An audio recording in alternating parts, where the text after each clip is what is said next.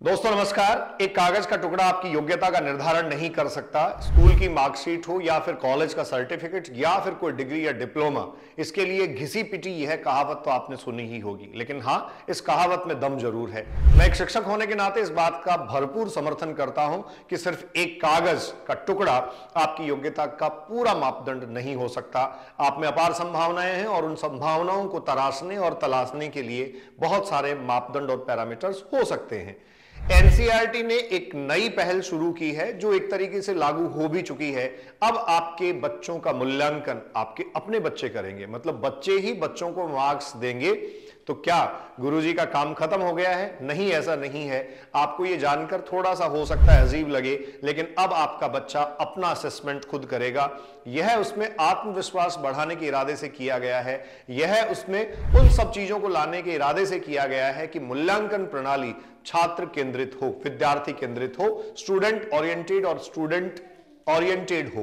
किसी प्रकार से अगर ध्यान रखा जाए इन सब बातों का तो देखिए, इसमें एक एग्ज़ाम्पल एक उदाहरण हम ले लेते हैं, और वो उदाहरण यह है, जैसे आपका बच्चा स्कूल की क्लास में गया, वहाँ जाने के बाद उसको क्लास अच्छी लगी या नहीं लगी, वो असेसमेंट में ये बात बता सकता है।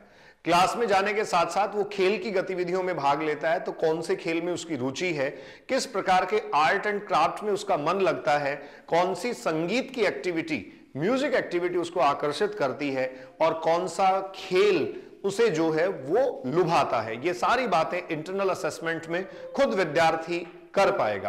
अच्छा इससे आगे की बात जिन एक्टिविटीज़ को वो टिक मार्क करेगा कि मुझे वो लुभाती हैं या अच्छी लगती हैं, उनमें उसने कितना परफॉर्मेंस दिया, उनमें उसने अपने आप में कितना उन चीज़ों को पूर्ण किया, यह भी महत्वपूर्ण रहेगा।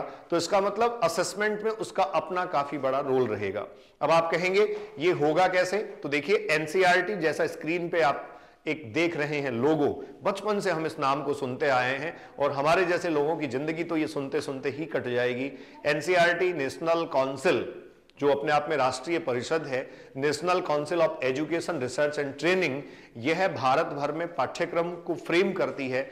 इसका अपने आप में एक ऑटोनॉमस बॉडी है, जिसको परख कहा गया है park P A R A K H और ये एक एचपीसी रिपोर्ट तैयार कर रही है, जो एक तरीके से हॉलिस्टिक प्रोग्रेसिव कार्ड है, जो बच्चे की संपूर्ण रिपोर्ट आपके सामने ला के रख देगा।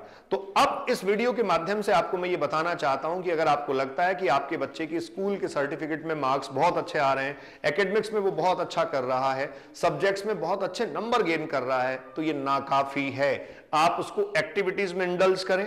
आने वाला दौर स्किल्स का होगा स्किल ओरिएंटेड होगा, और इस स्किल ओरिएंटेड दौर में आपका बच्चा कहाँ स्टैंड करेगा, ये सहारा उसकी खुद के असेसमेंट के साथ साथ माता पिता के इन्वॉल्वमेंट पे भी निर्भर करेगा। मैं एम एम बल्डोदी अभिव्यक्ति के माध्यम से आपसे मुखातिब हो रहा था। ऐसी ही यथार्थ तथ्यपरक सूचनाओं के लिए जुड़े रहिए। Because authenticity is our priority enjoy your life be safe thank you